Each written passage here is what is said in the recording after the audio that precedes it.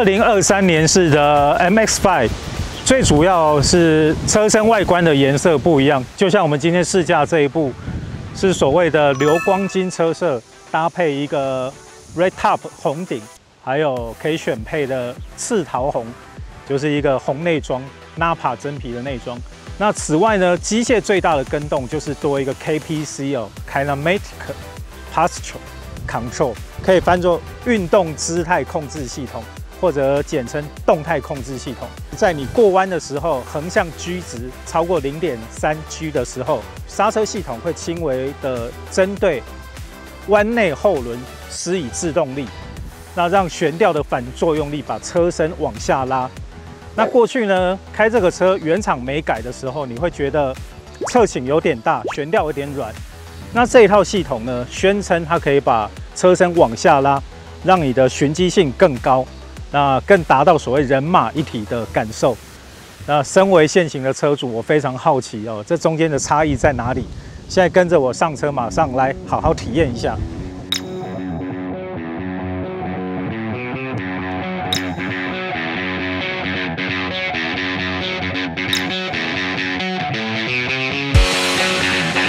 例如它的外观，其实内装它也没有什么太大的变动。那主要是我身后这一套跑车座椅呢，加上了所谓赤桃红的这种选配颜色。那这个真皮还是比一般版高级一点，是 Napa 的真皮，而且它有白色的缝线。此外呢，它的配备也没有任何其他太多的更动哦。中控荧幕还是小小的七寸荧幕，但是基本上反应不差。导航系统你要另外加价购买，我的建议是直接 CarPlay，虽然它的 CarPlay 还是要接线哦。不管是导航啊、音乐种种，你都可以用，会方便许多。仪表还是三个三个圆形的设计，左边是数位的，两边是传统的类比式仪表。定速系统啊、怠速自动熄火、车道偏移这些比较科技的配备它是有，但是呢，自动跟车当然还是没有。中央有一个小小的零钱盒之外呢，就是后面有一个置物盒。那前面当然还是没有手套箱，那左右两边你可以放东西的地方非常少，手机也只能塞在前面这个地方。那总之，这就是一个追求极致轻量化跟非常纯粹驾驶感受的这种方卡。这台车呢，它是所谓的 Red Top，就是红顶哦，红色的这种软棚。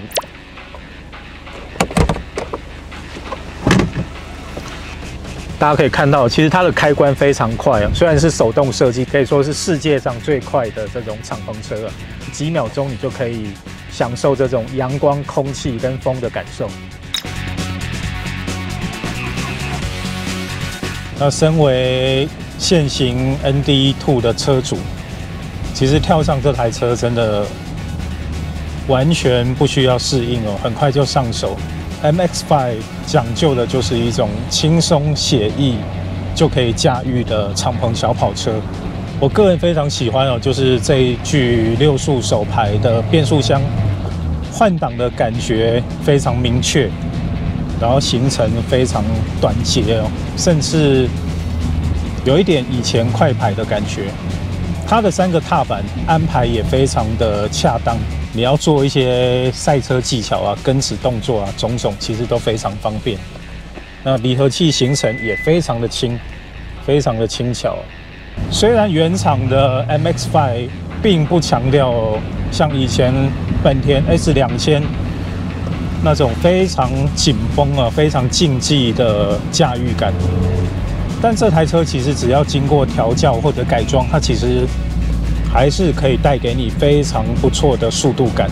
那当然，它有几个重点，它的车身非常轻哦，只有一千零六十六公斤，车身小巧，轴距也非常短，然后重心非常低哦，坐在车内就仿佛坐在地上的感觉。那这些优点一样都被保留，认真的加快一点速度，来感受这一套 KPC 的感受。过去原厂的 MX-5 啊，过弯总有一种，我开玩笑讲，有一种车头快翻过去的感觉。它的悬吊设定比较软，行程也比较长，那过弯你的侧倾会特别的大。哇，有有！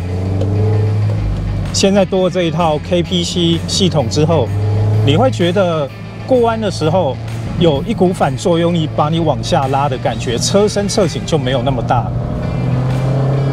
那循迹就比较服帖。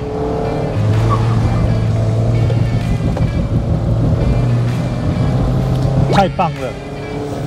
这种后轮驱动小跑车啊，在你过弯的时候激进一点啊，或者早一点给油，车尾就会滑出去。那这种后轮驱动车才有的乐趣，真的也是非常难能可贵啊！我自己的车改了倍斯登的避震器啊，跟短弹簧，那车身稍微降低，虽然整体的操控性变好，但是舒适性有稍微的牺牲。那这部二零二三年的 MX-5，借由这一套 KPC 系统，维持一定的舒适度，但是过弯的时候那种快翻过去的感觉确实被抑制了。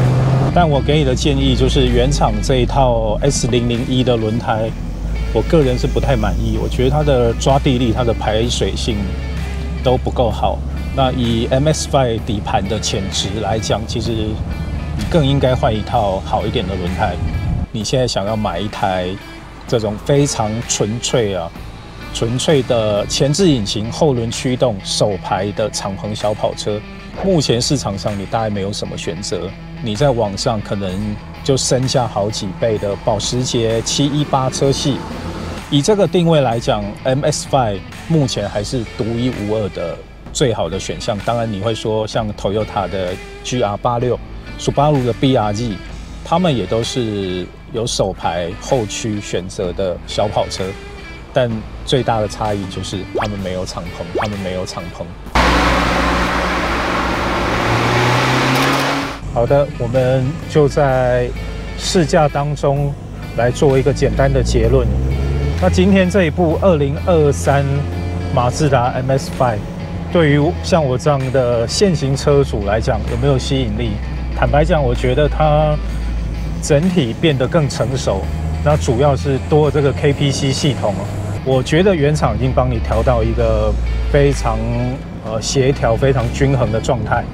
那顶多你就是换换轮胎、换换来令片，底盘的定位重新校正一下，我觉得差不多了，真的非常完美。